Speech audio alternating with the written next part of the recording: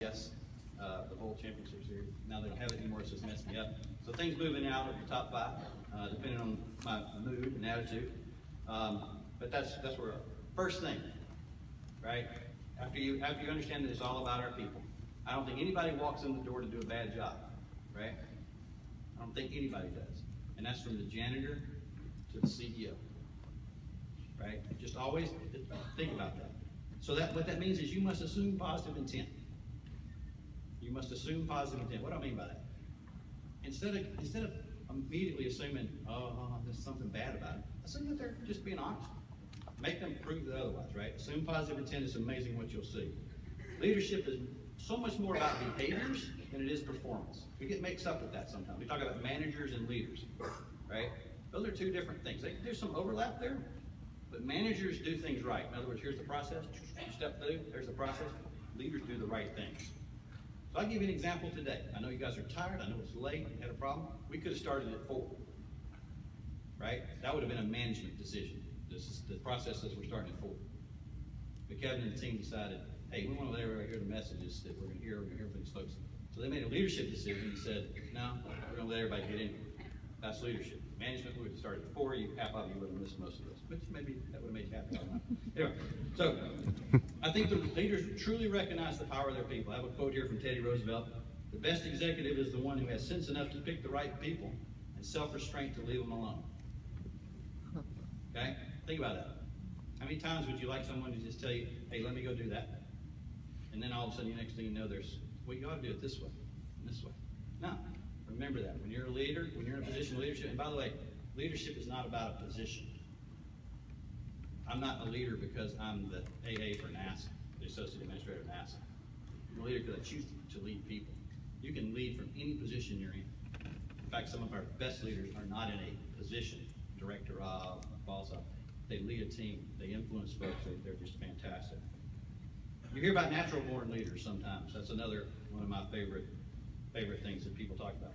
Are leaders, are, are people born to be a leader? I, no, I don't think so. I think you grow it over time, and I found a quote from Elaine Agather. Leaders are born with only one thing they need, a backbone. They must grow a wishbone and a funny bone. Right? Because the wishbone is vision. The leader has to provide some vision for folks. So when you're in a leadership role, think about that. People around you want to know what to do, and they will walk through fire for you if you give them that vision. If you don't, they're going to look like just all look like an ant hill that's been kicked over, right? Because they don't know where to go. And the sense of humor, trust me, if you guys don't have a sense of humor, you take yourselves too seriously, it will eat you alive, right? Life's too short. Take the job seriously, but don't take yourself so seriously. There'll be people before there'll be people, there'll be people before you in any position you're in, and there'll be people after you, right? So make the most of while you're there, but relax, have some fun with it as you move forward. So there's a couple tyrannies in our world, as I call it, when you get into leadership positions, I think are really important for you to pay attention to. And, and the main one is the tyranny of or instead of the power of and. Think about that, right? How many times does something is presented to you as an or? Occasionally you could put an and in, right? Milk or cookies, or milk and cookies. A lot better. Think about that when you when you go forward. So those are kind of the big ones. My top five for me. And, and, and again, they, they move in and out, but the top four are pretty pretty solid. Positive attitude. I don't care what happens to you, what somebody does to you, what, what happens in your environment, the way you respond, you control. You cannot blame your attitude on anybody but you. Right? And as a leader, as a leader, you have to set that example. I went through one of the most trying times in the agency that I've ever been through when we lost Columbia. Had a, a space shuttle disaster with Columbia. I was part of the leadership team that had to bring the team back from that from that tragedy. I didn't say everything's going to be all right, hopelessly optimistic as I call it. I said we're going to work through this, right? And I gave them a positive vector to take on. I could have just I could have wallowed in the mud as I call it, you know, and just oh woe is us, right? We owed it to that, that, that crew, those seven astronauts, to pick our butts up off the ground and get it together and move forward? That's what I mean. You have to set a positive attitude. Again, not hopelessly optimistic, just a positive attitude. I got it. We're going to move forward. That's what you do as a leader. And your team gets some confidence. So remember that. The attitude is what you control. Do you ever think somebody's controlling your attitude? You got to think different.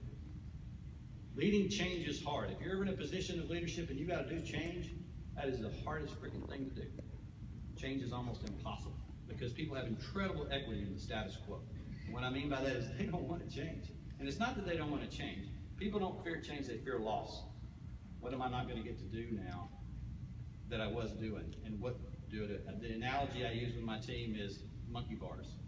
Right? Very simple, very simple analogy. If you're going to change, that means I got to let go of this bar before I grab this bar, but I don't even know what's out there. All right? Think about the monkey bars when you were a kid. If you did that, I did it.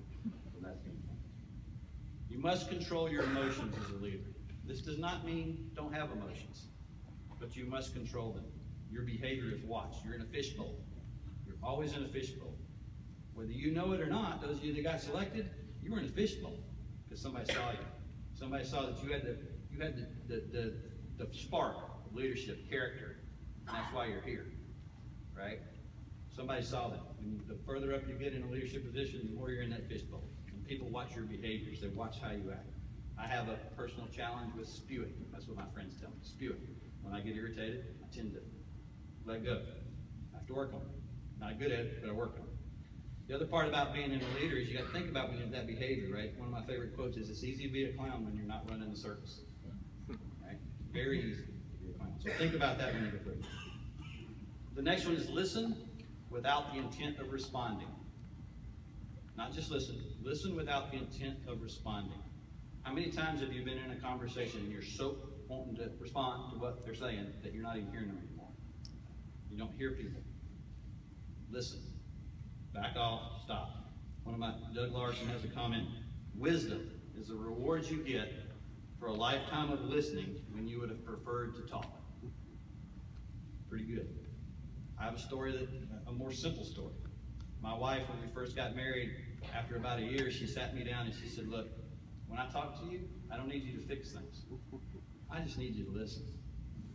Right? Because what would happen is she'd say, hey, I need to tell you something. And I'm immediately in fix mode. Man, I'm just, I'm waiting. Tell me what it is, I'm going to fix it. Right? And what was, it was amazing what I heard. What I heard when I didn't think fixing. And I listened. And most of the time, when you're in a leadership position, when you guys are in the positions that you work with your teams, you're going to find that they don't want you to fix it. They just need somebody to talk to. And by the way, if you're fixing everything, who works for who? Remember that you move forward.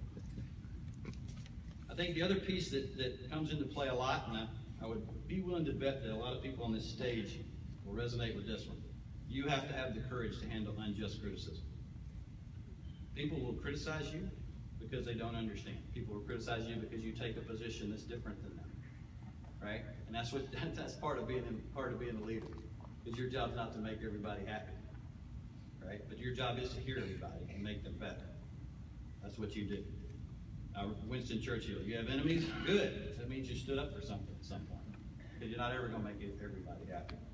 And then Herbert I cannot give you the formula for, for success, but I can give you the formula for failure, which is try to please everybody. Right? Stand up for something. I got one long quote I'm going to read to you guys just because it's my favorite quote in the world. It's on my wall at work. And, and it really gets to this one because I live in Washington, D.C., and I run an agency that isn't while Larry talks about it, while you live in Huntsville, we love NASA. Everybody loves NASA, right? From that standpoint, in Washington, D.C., that's not necessarily true. There's about 20 congressmen that love NASA. There's about 500 and, what does that leave? 515 that don't, right? We have to argue for that all the time.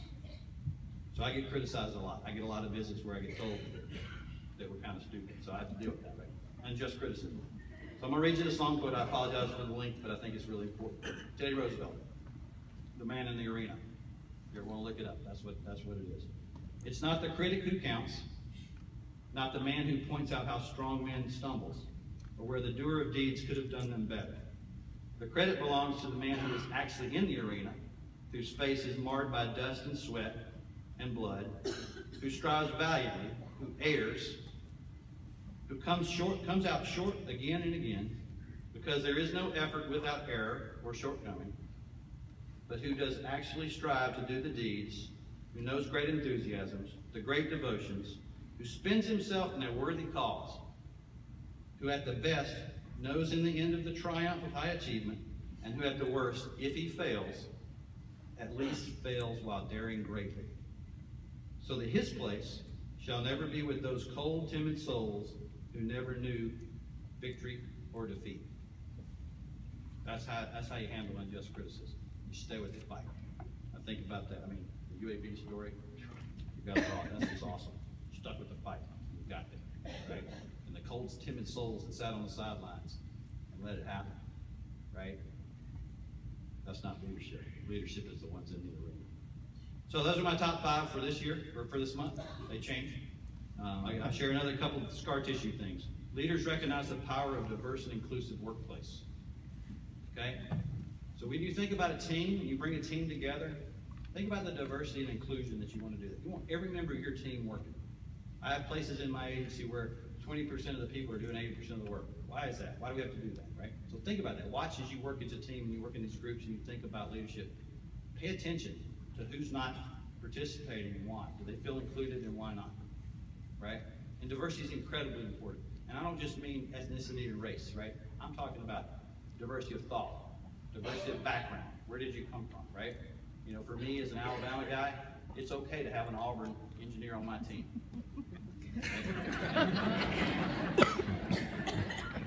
Appreciate those differences. Those differences are important and they'll bring you a better solution. We strive very hard to have very diverse teams to, to work to get things like Larry's mission done. You better have a sense of humor. That's a second. And it needs to be your own, right? Nobody else has to like it. It needs to be your own. And it needs to be stories you tell about yourself, not other people. When I say a sense of humor, that's not attacking other people. That's not a sense of humor, that's attacking. But if you think if you think I'm the best engineer in the world, you're crazy, right? No. I got a bunch of great engineers around me that get the work done. Right? I just happen to be the fortunate one for this period of time to be able to lead them, right? So it's important, it's incredibly important to be able to laugh at yourself. It relaxes your teams, it relaxes those around you. Again, don't take yourself so seriously. Take your job seriously. Next one is you've got to have passion. You have to have passion. If you're doing something that you don't have passion about, find something else to do. It's, life is too short to be in a job you don't enjoy. And like I said, I just wish Kevin could get a hold of this passion concept. So, so. Communication, body language, nonverbals. You, you may have, I don't know if you guys know what all that is yet, but you'll learn, right? That, that, you know, the way you react, the way you look is 80% of your communication. Somebody says something, you start rolling your eyes, you've lost them, right? They see that. I will say, um, these are not communication devices. They are great tools. Great tools, right? I use them all the time. I probably, God only knows how many emails I have right now. It scares me to death to get, actually hit the button and find out, right? They're great tools, but they're not communication. My daughters would tell me, hey, I talked to so-and-so last night. I said, did you really talk to them? Well, I texted them, right? That's what scares me, right? The art of communication is a transmit and receive, right? These are great tools, but they're not communication. So don't forget that. It worries me. That's, that's, a, that's a piece. Look people in the eye and talk to them. Look people in the eye and talk to them. You'll go up in my book 100%. I, I have hired, I can't tell you how many people in the last five, ten years, and, I, and this, is a, this is a challenge I see. And you guys can call me old and, and old school, whatever. But part of character, part of leadership is being able to look folks in the eye and tell them what you're thinking. Not send them an email or a text. By the way, it's really easy to send it. I call it the email bombs, right? For some reason, they're impersonal. The hate emails, as I call them. I think that in the probably outside of NASA speak, it's become the bullying, the tactics that we use, right? You would never say that to people's face. If you can't say it to their face, don't say it in a text or an email. Think about that, because when you get into the workplace, right, that's totally unacceptable. Totally. So start practicing now from that perspective. The other piece that I worry about a little bit, right, is that that I see from a communication standpoint. We get a lot of presentations, you can imagine, big presentations from folks uh, on different topics and different ways of doing things, which are great, right? But we got to be really careful that we don't fall in the trap that the first time some people have been criticized is when they walk into the workplace or questioned. We pretty much have.